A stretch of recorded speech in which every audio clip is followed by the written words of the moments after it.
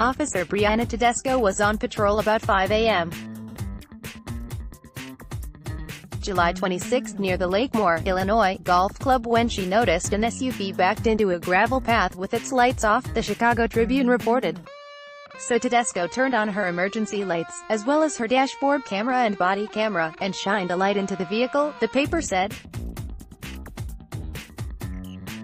Image source, Lake County State's attorney video screenshot the man in the driver's seat had been lying back in it, and he told Tedesco his name was James Duncan and that he was from Pennsylvania and was traveling west, the Tribune noted.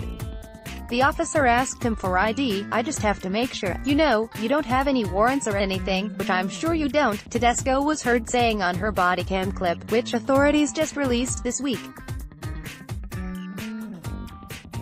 Ah, but the guy most certainly did have warrants. Aro um, turns out his real name was Kenneth Martell, and he was wanted in Pennsylvania for beating and stabbing to death an 88-year-old man.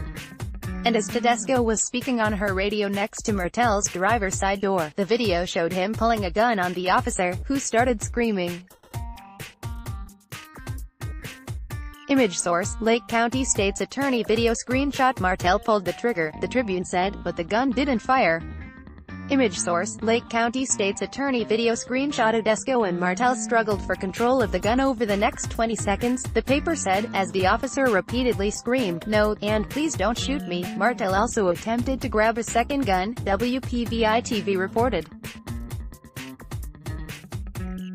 Image source, YouTube screenshot Another cop shows you've been a nick of time. Fellow Lakemoor officer Anthony Lovacono showed up to the scene, pulling up behind Tedesco's squad car, the Tribune said, adding that he could hear Tedesco's screams even with his windows up. Image source, Lake County State's Attorney video screenshot. The paper said the suspect raised both of his hands, each holding a weapon, and Lovacono fired at him. Image source, YouTube screenshot Martell was struck in the head and died, the Tribune reported, adding that an autopsy found the 36-year-old Springboro man had amphetamine, methamphetamine, and marijuana in his system. More from the paper. Authorities launched a search for evidence in the nearby woods.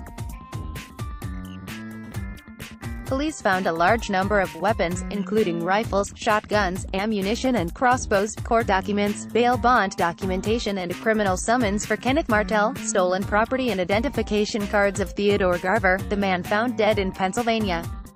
Authorities said Martell beat and stabbed Garver to death during a robbery in Crawford County three days earlier, GoErie.com reported. What did the Lake County State's attorney have to say?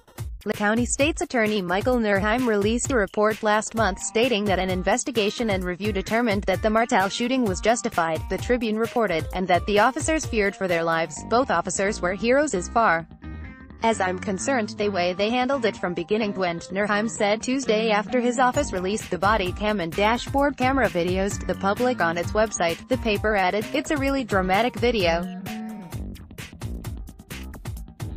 The first time I saw it, I felt my heart beating through my chest, he noted, according to the Tribune. It's hard to watch, more from the Tribune. In a report on the shooting, Nerheim concluded that retreat was not an option. With both officers within feet of a man armed with two handguns, only one option remained for the officers, to defend themselves, he said Tedesco's quick actions and fight for the gun allowed additional time for her partner to arrive at the scene. Her partner was then able to end this deadly confrontation. The acts of these two skilled officers were masterful and indicative of two people acting in self-defense. Nerheim also noted how valuable video evidence was in this case. This is the good thing about police departments getting body cameras. In past, there was no footage, he added to the Tribune. This highlights how incredibly dangerous their job is. HT, Blue Lives Matter.